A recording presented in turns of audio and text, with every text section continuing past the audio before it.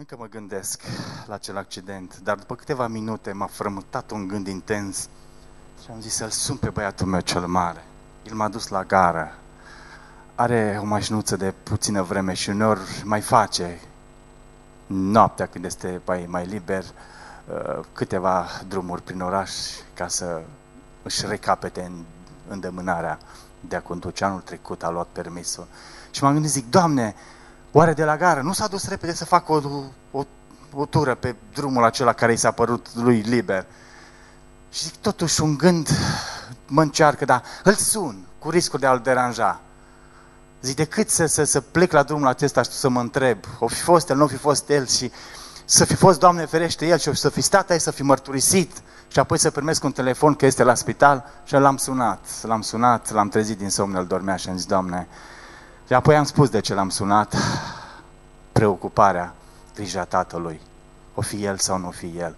Dar admite Tatăl nostru Ceresc care este pe urmele noastre în fiecare zi, în mintea noastră coboară, ne îndeamnă, ne impulsionează, ne sugestionează, ne spune ce, am, ce ar trebui ca noi să facem, să fim fericiți, să fim împliniți, să fim mulțumiți, să ducem o viață de împlinire aici, ca să apucăm adevărata viață, să apucăm adevărata viață veșnică. Iar noi, de cele mai multe ori, dragii mei, ca fratele fiului mai mare risipitor stătea, zice, și nu voia să intre cu niciun chip în casă. Tatăl îl ruga și nu voia. Tatăl ne roagă în fiecare dimineață să ne întâlnim cu El, să ne împăcăm cu El, să ne împăcăm unii cu alții, că nu știm ziua de mâine. Și de multe ori în inima noastră zicem nu, nu acum, ci mai târziu. Dragii mei, în Geneza, capitolul 31, cu versetul 42, este un text de la care vreau să pornesc uh, scurta mea mărturisire în dimineața aceasta, în care Iacov îi spune lui Laban așa, de puteți să-l, să afișați, vă rog frumos, de n-ar fi fost Dumnezeu de partea mea, astăzi mi-ai fi dat drumul cu mâinile goale. Dar Dumnezeu a făcut să propășesc, să proslăvesc și să mă întorc îmbogățit acasă. De n-ar fi fost Dumnezeu de partea mea. Să spună cineva în dimineața aceasta, de n-ar fi fost Dumnezeu de partea Lui, de când s-a născut și până în prezent. Oare pe unde am fi fost noi astăzi? Oare ce ar fi fost cu viața noastră și din viața noastră? Chiar dacă de cele mai multe ori rătăcitori prin gândurile noastre ne-am îndepărtat de Dumnezeu, Dumnezeu a fost prezent acolo în inima, în mintea și în gândurile noastre. Și vreau să mărturisesc în această dimineață, de n-ar fi fost Dumnezeu cu mine, de n-ar fi fost Dumnezeu de la naștere și până în prezent, eu nu aș mai fi existat din punct de vedere fizic ca om. Aș fi trebuit de mult să fi dispărut, de mult să fiu deja un putregai undeva la 2 metri adâncime sub pământ. De n-ar fi fost Dumnezeu cu mine atunci când m-am născut într-o familie care nu a avut un mediu bun, ci din potrivă un mediu toxic. Doi oameni care s-au întâlnit, au făcut cinci copii, zilnic se băteau, se amenințau, se blestemau, cu moartea, cu divorțul, unul pe celălalt, până în ziua când au decis să pună capăt relației lor, au divorțat, iar cei cinci copii i-au abandonat la casa de copii. Anii 80 am petrecut ca un copil abandonat al nimănui la casa de copii. Gândindu-mă, de ce sunt aici? De ce nu s-au înțeles părinții mei? Cum să scap de aici, din trânsoarea celor ziduri, acelei clădiri? A multor ochi care erau unii asupra celorlalți, fiecare copil îl prindea pe celălalt, nu cumva să faci vă prostie, că apoi erai șantajabil și trebuia să plătești fie mâncarea de la masă, fie prața de pâine pe nu știu câte zile ca să nu te spună. Aici profesori, educatori, învățători, supraveghetorii, toți băteau, erau foarte duri, era un regim dur să ne supună să știm de frică.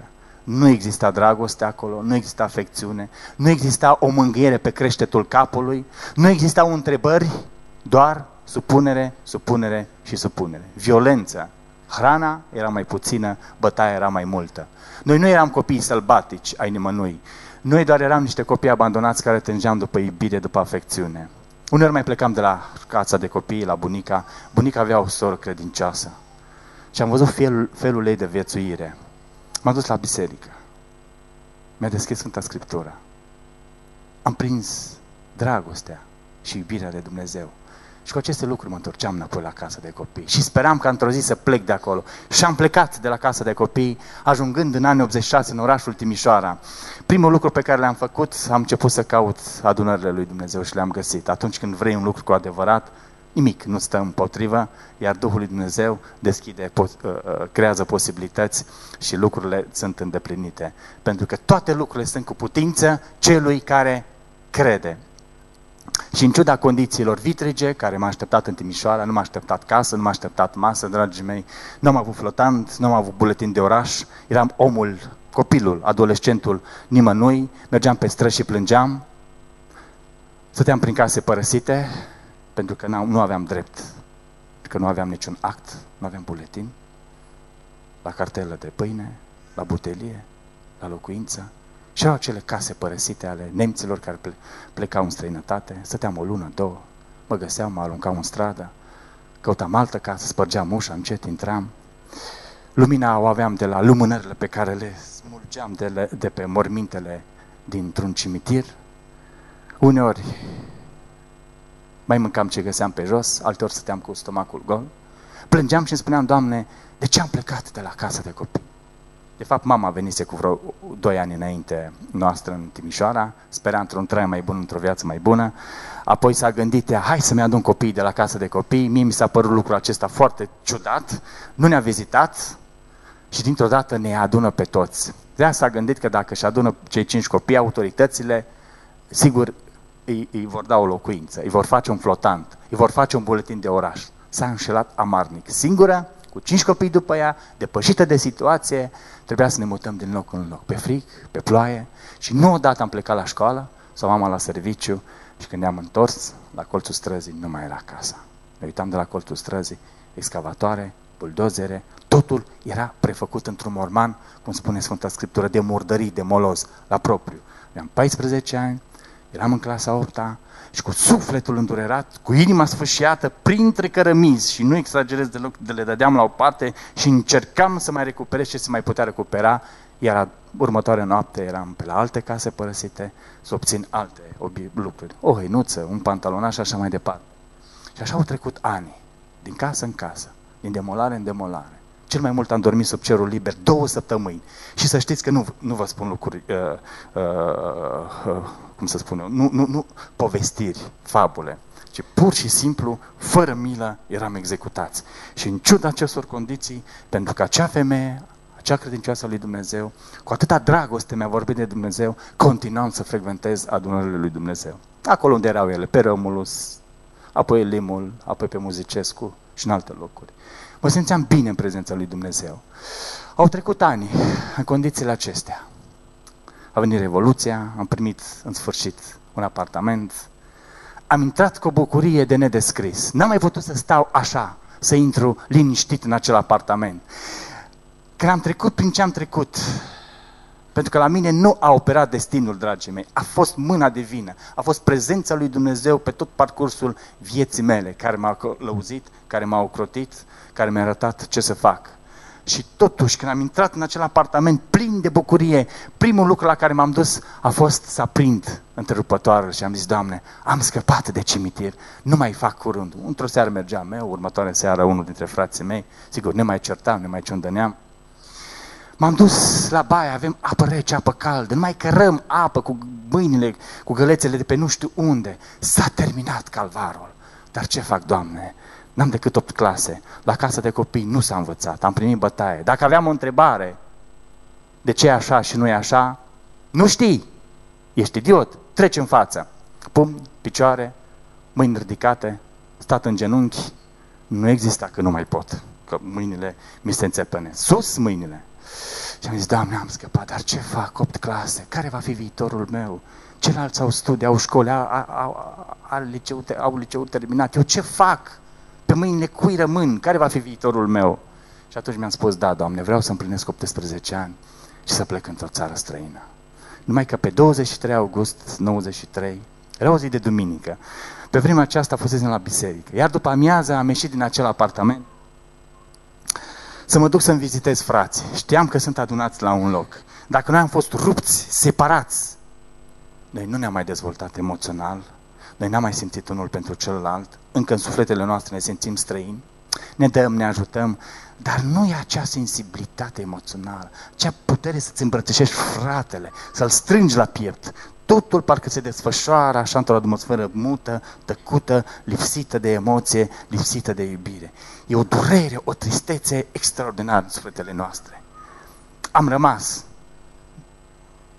Suntem cumva împreună, dar cum este trupul acesta amputat, așa este și suflet, su, uh, sufletul fiecăruia dintre noi. Funcționăm cât de cât, ne ajutăm, dar ce nu s-a dezvoltat atunci când a trebuit este aproape imposibil uman, numai printr-un efort dumnezeesc. Și am zis să mă apropii de ei. Poate simt ceva pentru ei. Am ajuns în stația de tramvai. Am pus piciorul drept pe prima treaptă a tramvaiului. Am pus stângul pe cea de-a doua. În acel moment, conducătorul tramvaiului a făcut două mișcări simultan, deodată. A pornit vehiculul brusc, a închis ușile. Aflându-mă cu mâna dreaptă de bară, mâna mi-a fost prinsă între garnituri, șocul zmunciturii tramvaiului m-a trântit pe caldarâm pe beton, picioarele a lovit bordura și bordura mi-a ricoșat corpul sub roți. Roțile a trecut peste membrele mele inferioare, oasele au trăznit, corpul s-a forfetat, m-am rotit cu capul în sens invers, mâna stângă a căzut pe linie, a trecut cealaltă roată, pe când urma să treacă bughiul din spate peste corp, cineva m-a prins, m-a tras de acolo, mi-a pus resturile pe piept, pe bancheta unei daci și la spitalul județean. De aceea v-am spus adineauri, n-am avut puterea să cobor. Dimineața, tot vagonul s-a golit, să vadă ce e acolo. Eu ceva, ceva mi-am imaginat. Și în povestea, un martor zice, doar atât a mai rămas un loc ușor, atât, totul era zdrobit, toată mașina era pachet sub, sub tren, 40 de metri să te împingă pe, pe, pe, pe, pe, pe șină. Și zic, nu mai vreau să retrăiesc. O jumătate de corp mi-a rămas acolo, dus la spital, am deschis ochii a doua zi pe la orele prânzului, m-am uitat de-a lungul corpului și am văzut, eram acoperit cu un cerceaf, o gaură în cerceaf, lipsește piciorul stâng. M-am uitat mai jos în partea dreaptă, lipsește piciorul drept. N-am zis nimic. Mă uit în partea stângă și am văzut că lipsește mâna stângă. Atunci am strigat cât m-au ținut puterile, sigur, într-o voce tremurândă, eram sub efectul anesteziei, zic, Doamne, s-a dus viitorul meu, ce voi face? Nu am niciun trecut, mi-e rușine de trecutul meu. Nu am niciun prezent. Viitorul nici mă mai pot gândi la el. Fizic, nu mai pot umbla.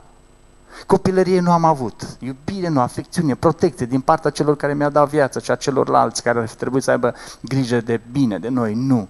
Ce fac eu? Cum mă voi târâ? Care va fi viitorul meu? Pe unde voi îmbătrâni? Ce fac cu toată credința, cu toată lauda și închinarea pe care ți-am adus-o în diverse case de adunare? Acum! De ce? De ce s-a întâmplat lucrul acesta? N-am apucat să mă bucur de viață. Ca să scurtez, am stat doi ani de zile mai mult închis într-un apartament, pentru că nu avea cine să mă ia pe brațe, să mă duc afară. Am mai avut alte intervenții chirurgicale. Intram atât de trist în sala de operație, numai eu și cu Dumnezeul meu, spunând, Doamne, mă ia pe brațe, mă pune pe targ, mă duce în sala de operație, din nou deschide rana, taie osul, îl scurtează, mă duce în sala de operație, dar eu tot nu pot umbla după aceea. La ce rost atâta chin? Și pe doi ani a ajuns la capătul răbdărilor, al neputinței, după posturi, după rugăciuni, după citirea psalmilor, a evangheliilor, după cartea proverbelor, nemai știind încotro să mă îndrept, nimeni nu mă putea încuraja cu absolut nimic, ba din potrivă. Spuneau că dacă n-am venit la Domnul cu mâini și cu picioare, așa o să mă aducă Domnul la el. Dacă n-am făcut ce trebuia după părerea lor, de aici mi se trage pedeapsa. Dar eu știam altceva. Dacă m-ar fi întrebat când ai fost ultima dată la baie, i-aș fi spus. Dacă m-ar fi luat pe brațe să mă scoată afară 5 minute, locuiam la parter, ar fi fost cea mai frumoasă evangelizare. Dar nu s-a întâmplat lucrul acesta. Nu-i judec, pentru că Așa erau paradigmele de gândire atunci. L-a blestemat Dumnezeu, l-a pătut Dumnezeu. Cine știe ce-o fi făcut? Eu am avut accidentul în august, dar în decembrie, sora mea, în ajun de Crăciun, eu când spun Crăciun mă refer la sfârșit de an, nu la sărbătoare în sine. Eu nu-i dau acestei sărbători o însemnătate spirituală, adică să mă E sfârșit de an, nu vreau să mă înțelegeți greșit. Uh, a fost pulberată pe trecerea de pietoni. Eu stăteam în sufragere pe cărucior, ea în cealaltă cameră, toată în gips, cu tișă, de la, la piciorul drept de sus până jos, bazin, picior, absolut tot, tot era în gips. Toată zona se întreba și căuta un răspuns. Ce-o fi făcut femeia aceasta, adică mama mea? Ce păcate ascunse, ce nenorociri, dar nu ajuta la nimic, dragii mei. Dacă ar fi venit cineva să stea cu noi, să-mi dea o cană cu apă, să ridice rulourile din geam, să nu mai stea trase până la orele prânzului, până se întorcea mama de la serviciu, ar fi fost evangelizare curată în acel apartament și suferința ar mai fi fost atenuată. Și pe doi ani de suferință, cu mine pe cărucior, cu sora mea în partea cealaltă, mă tăram pe jos să-i duc ligheanul, altor mă puneam pe cărucior și împingeam câte puțin, că nu avea cine să ne ajute. Oamenii existau în jur. Ne mai știm ce să fac. Mintea era tot mai obosită. Șaptele îngerilor neputințe au venit să-mi dea târcoale spunându-mi, uite-te cum arăți, nimeni nu o să te mai ia. A avut dreptate acel medic când i-a spus mamei tale, Doamne, ar fi fost mai bine să fi murit copilul. Băiatul acesta nu va mai avea nicio șansă. Nu mai are cum. Social, se reabiliteze, veți rămânea cu el pe cap. Se va enerva, pentru că este tânăr, are dorințe, dorința produce frustrare, iar frustrarea comportament agresiv și va arunca după dumneavoastră cu tot ce va apuca. Și în acele momente a suferinței emoționale, fizice, sufletești, văzând că acei îngeri vorbesc minții mele să fac ceva să dispar din lumea aceasta, îngrozit de acele gânduri, este ultimul aspect cu care vreau să închei.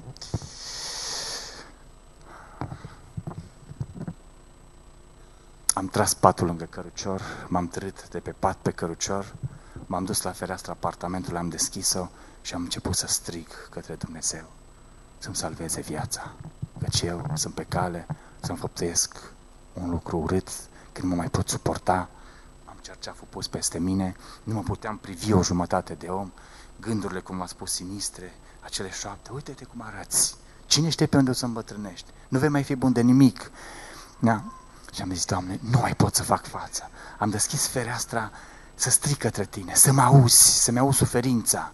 Ce se întâmplă cu mine? Unde ești? Am auzit de minuni înfăptuite în dreptul multor uh, uh, uh, credincioși, dar cu mine cum rămâne? Și Dumnezeu n-a putut lucra în viața mea până nu am înțeles atunci și acolo trei lucruri importante, esențiale. În timp ce mă rugam, Duhul lui Dumnezeu mi-a deschis mintea și a bătut la ușa inimii și mi-a spus așa. Tu vrei să lucrezi în viața ta, dar tu ești plin de ură. Tu nu te accepti, tu nu iubești, tu ai un proces deschis pe numele celui care a trecut cu tramvaiul. Zice, da, Doamne, dar toate aceste lucruri sunt reale. Și în momentul acela, zice, până nu vei ierta, până nu vei iubi, inima ta este blocată și nu pot lucra. Eu am crezut până atunci că a iubi este un sentiment, a ierta este un sentiment și până nu simt, nu pot ierta și nu pot iubi. Dar în acel moment când Dumnezeu m-a pus la colț cu o ultimă întrebare, crezi tu că acel conducător de tramvai a vrut să treacă cu tramvaiul peste tine? În acel moment am răspuns, tremurând, luat pe, prin surprindere, nu, Doamne, sigur că nu a vrut. Și atunci, dacă tu vei continua să mergi mai departe cu procesul acesta, ce crezi că vei câștiga? Dacă eu sunt gata să-ți iert o datorie de 10.000 de talanți, tu nu ești în stare să ierți o datorie de 100 de lei. Și în momentele acelea, inima mea s-a prăbușit la picioarele Domnului Iisus Hristos și am spus, Doamne, da, acum am înțeles că a iubi este o alegere. Aleg să iubesc acum și aici. Aleg să mă accept. Aleg să te accept. Aleg să-l iert pe acel conducător de tramvai. Aleg să iubesc părinții, să iert, să merg călăi de la casă de copii pe toți cei care mi-au pricinuit rău, sub o formă sau alta. Și în momentul acela, în acele câteva minute de plânsete, de strigăte către Dumnezeu, inima mea s-a zdrobit și calea a fost deschisă, deschisă ca bunul Dumnezeu să poată lucra cu putere în viața mea. Ce vreau să spun cu acest mesaj, dragul meu? Alege astăzi să iubești. Alege astăzi să te iubești. Alege astăzi să ierți sau să te ierți pe tine. Pentru că a, ne, a nu te ierta sau a nu te iubi este un act păcătos, este o lipsă de încredere la adresa lui Dumnezeu. Dumnezeu te iartă, tu de ce nu te poți ierta? Dumnezeu te iubește, tu de ce nu te poți iubi și de ce nu poți iubi pe celălalt? Eu am crezut că eu îi țin în captivitate pe cei care mi-au făcut rău, dar eu eram propriul meu prizonier. Spune că cetatea Irihonului era închisă, nimeni nu mai intra și nimeni nu mai ieșea. Mi-am construit o cetate. Și nu mai intra și nu mai ieșea nimeni. Până ziua când m-am întâlnit cu Dumnezeu cu adevărat. În ziua aceea, din ziua aceea am început să cred cu adevărat, nu să cred că cred în Dumnezeu. Și viața mea s-a îmbogățit. A fost o explozie de lumină, o explozie de binecuvântări. Numai atât vă spun. La câteva zile, prima minune, îmi pare rău că n-a reușit să vină soția mea să cu mine, trebuie să îngrijească din bolnav. A fost aceea că am întâlnit-o pe actuala mea soție, printr-un cer de prieten comun, pe când eram pe un cărucior pe o bucată de mușama. Nu umblam ca acum. Și fata aceasta a spus unei întregi lumi, nu? Și mie mi-a spus da. Vai de mine, dar tu te căsătorești cu un asemenea om. Dacă ești copii ca el, vai, draga mea, spunea colegii de serviciu, păi tu trebuie să-l cari în spate, nu erau ustensile, cărucioare, ca anii 94-95, ca acum, dragii mei. Dar o sărăcie. Nici n-aș pierde timpul acum să vă spun în ce condiții sociale eram. Oamenii se creau în spate, unul pe celălalt, pe cărucioare, pe, de butelie, așa se duceau la expertizele medicale. Spun frați care îmi povesteau până să apară peste zeci de ani uh, și la noi ustensile electrice. Ce păi tu vei face hernie de disc, să le iei în brațe, să-l pui pe cărăcior, să-l duci, să-l aduci, să-l scoți afară. Ce vei face tu? Și a spus, nu, eu îl vreau pe Costel. Familia ei s-a reunit cu toți în ședință, să vadă ce s-a întâmplat, ce blestem s-a bătut asupra familiei. Dar acolo unde Duhul lui Dumnezeu lucrează, nimeni și nimic nu poate sta împotrivă. A avut loc și nunta, toți au fost convinși că va fi o chestiune de timp, în 2-3 ani relația moare, se distruge și ea va ajunge la vorbele lor. Și au trecut mai bine de 20 și 3 de ani. David are 20 de ani, Alexandru 13 ani, Uh, am fost mire, am avut mireasa, la 30 de ani, numai pentru tine vreau să spun, m-am înscris la liceu teologic Pentecostal din Timișoara și am făcut liceul la zi, 5 ani de zile. Mi-am lăsat unor mistriași ca început pentru că am fost obligat să lucrez fără umnă și două picioare. Este o altă poveste. De ce și pentru ce? Dar nu mi-a fost rușine. Am zis, Doamne, vreau să fac, pentru că era să pierd și casă, și familie, și tot. Așa a fost contextul social. Și la 30 de ani m-am înscris, am terminat liceul, mi-a fost rușine, 5 ani. Zis, Doamne, spunea doamna dirigintă, clasa a noua în clasă, am zis, a noua, eu de mâine nu mai vin, ce rușine. Când trec 5 ani? Mi se părea parcă este Everestul în față. Și au trecut 5 ani. Am plâns de fericire. Zic, Doamne, am și liceul terminat. Este ultimul stigmat pe care vreau să rezolv în viața mea. Și dacă am văzut că se poate, zic, Doamne, pot să mai fac un pas împreună cu tine? Mai ești de partea mea? Da. Și am dat admitere la facultate. Am terminat facultatea de psihologie la zi, apoi master în sociologie. Am făcut câteva formări, sunt licențiat mm, ca, cu drept de liberă, practic, ca psiholog pe uh, clinician. Am alergat și cu proteze, și fără proteze, și pe cărucior, și fără cărucior, la cursuri, nu pentru diplomă, ci pentru științificitatea materiei, să fiu util, uh, folositor societății până va veni Domnul Iisus Hristos. Chiar dacă acel medic a spus, ar fi fost mai bine să fi murit, uite că Dumnezeu a zis, nu, vreau să trăiască, vreau să mă întâlnesc cu El și vreau să transform tragedia într-o binecuvântare. Chiar dacă vizibil nu mă este. Chiar dacă în locul picioarelor de carne picioare laminate de fibră de țiclă și carbon pe care mi le fac aici la Lugoj, lângă dumneavoastră, da, mai bine de 20 de ani. Uh, Dumnezeu transformă suferința în biruință, în binecuvântare. Cicatricele rămân. Și să nu ne fie rușine de orice cicatrice pe care o avem, sufletească, fizică.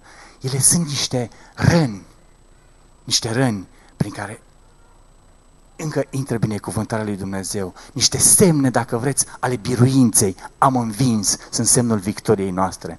Dragii mei, acum la final, atât vreau să vă spun, de n-ar fi fost Dumnezeu de partea mea, fizic, am fost luat bucăți, resturi, cum am spus, pus pe piept, 6 km la spitalul județean. Normal, după toate uh, estimările omenești, nu ar mai fi trebuit să trăiesc. Într-o zi, cu ochii în lacrimi, l-am abordat pe medicul chirurg, întrebându-l, nu era posibil să-mi fi salvat măcar piciorul drept și mi-a spus așa. Unu, în ziua aceea nu trebuia să fac de gardă. Am ales să înlocuiesc un coleg. Nu m-am gândit că Dumnezeu mă cheamă să salvez viața. Sunt chirurg intru acolo detașat, fără nicio emoție în sala de, uh, uh, de eram să zic, de ședință, de uh, operație. Dar am știut că cazul tău mă va marca pe tot restul vieții. Doi, colegii mei n-au vrut să te bagi în sala de operație, au considerat că nu mai ai puls, mai ai tensiune. Având un pacient pe masă de operație, l-am dat jos și am spus, eu conduc echipa de gardă în sala de operație cu el. În altă urnă de idei lipseau fragmente din trup. Și dacă mai vrei să știi un lucru, inima ta urma să mai bată o singură dată și intrai în stop caldea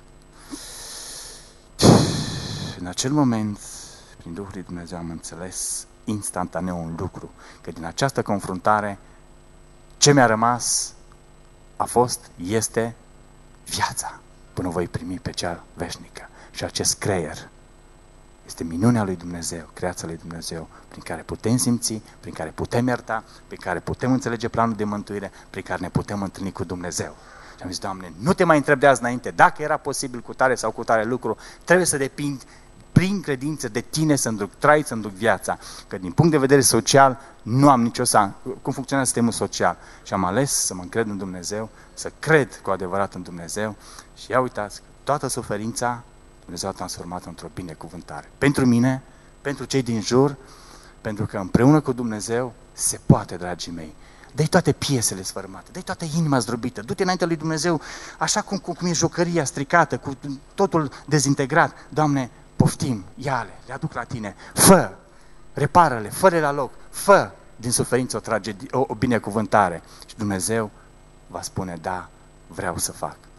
Poate că sunt în dimineața aceasta aici, măcar pentru un singur suflet, care nu mai știe ce să facă, mintea lui a rătăcit, nu știe pe ce căi să ajungă, dar dacă pot să stau pe aceste picioare moarte, uneori mă strâng, alteori mă pișcă, alteori mă deranjează, da? în așteptarea împărăției lui Dumnezeu, tu, dragul meu, de ce n-ai putea? Ce te împiedică?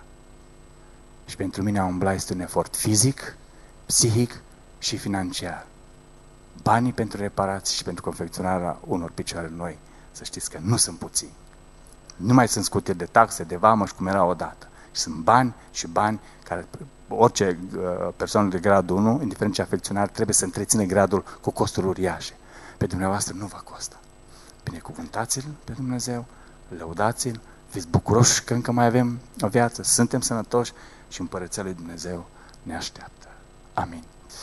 Vreau să cânt un ultim cântecel. Eu îmi cer iertare pentru cele 5 minute trecute peste. M-am străduit, cum se zice în popor, cu dinții să fiu la o, uh, fix să cânt un cântec drag sufletului meu și pe fondul acestui cântecel vreau să urmăresc câteva imagini care vă vorbesc mai mult decât m-aș strădui eu, vorbesc de la sine. Este un periplu din viața mea, de la spital la oh, 2006, când am încheiat eu legământ, apoi soția mea anul următor. O să vedeți familie, o să vedeți copii, aspecte din slujire, din lucrare, o viață prin Harul lui Dumnezeu, prin puterea sa, plină de bogăție și de măreție.